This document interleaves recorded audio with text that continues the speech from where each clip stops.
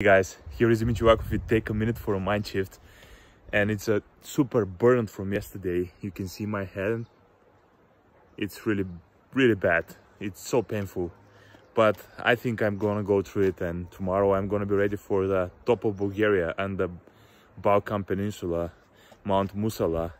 Uh, we are with uh, my girlfriend and her parents and going to this hiking trip and I'm so excited for tomorrow, which is the last day let's see what will happen.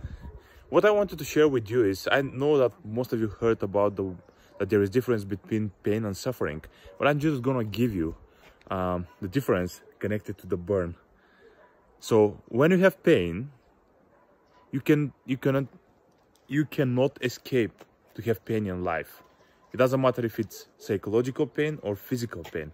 Right now i have a pain in my two hands and also my neck. I cannot escape that but when it becomes suffering, whenever you put so much attention on it or you try to resist it, and in this way you suffer.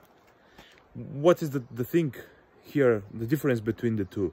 I have pain, but I accept the pain. It is there. I cannot change it. It's so painful. Whenever I go to bed or I, I, I put something on it in order to release a little bit of pain, it's painful.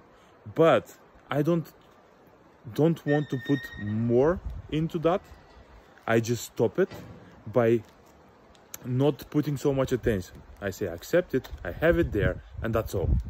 I don't know i know that this is maybe sounds very it's not very vivid description of that but just think if in your life wherever you have pain how you can accept it not trying to resist it and see the difference there you're gonna see it physically and mentally. Have a great day and talk to you soon.